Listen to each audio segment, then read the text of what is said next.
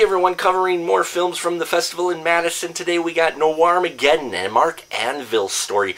And it was brought to us by writer-director Tom Berdinsky. And it tells the story of a PI, Mark Anvil, who while driving along comes across a lady who's escaped from an insane asylum talking about the end of the world. Well, he just can't ignore a case that's fallen in his lap like this. So he decides to investigate further on what's going on with this mysterious woman. And he gets pulled into this crazy tale involving uh, vampire landlords and crossing paths with a pie making uh, luchador.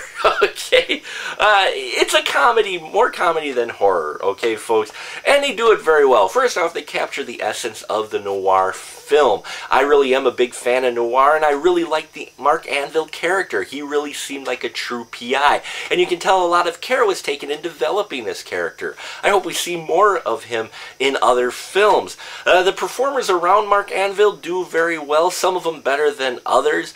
Uh, you know, and some of the dialogue in there was kind of cheesy and cliche. Okay, a lot of cheese involved in Noirmageddon, but that's what they're going for, okay, as long as you grasp that. At first, I wasn't quite sure if it was going to be a more serious noir type film or it was going more comedy. And then when I saw the cheese flowing and the dialogue and the way, the direction that the plot went, I could tell that they were really going for comedy with this, and they do accomplish that. Now, there's a lot of different cameos in here from horror hosts around the nation, so uh, you should see that. If you are a big fan of horror hosts, you'll rec uh, recognize a number of them.